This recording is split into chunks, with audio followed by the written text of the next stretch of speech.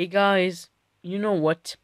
Today, there are 8 days left until the New Year's Eve 2020. So, you know what the number 8 could be. Like in the 8 planets of the solar system, the mysterious 8 ball and the number 8 with it. And you can just shake it and ask a random question and it will answer yes, no, talk to me later, can't reply right now. My points say no or and my points say yes. And and when you when you add more number 8, like more 8s, then you can get the number 80.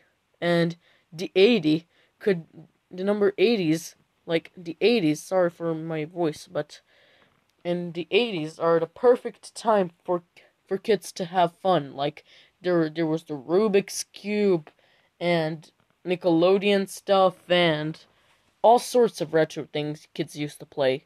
And my mom was born in 1978 and she had and she had lots of fun listening to beautiful Brena uh, and having good times with her friend Milan.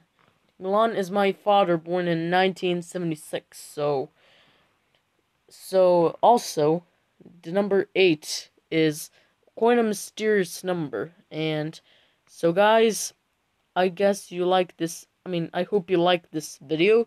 Click subscribe so you won't miss another video. And see you tomorrow on 7 days left until the New Year's Eve 2020, which means there's one week now until the New Year's Eve 2020. And see you tomorrow.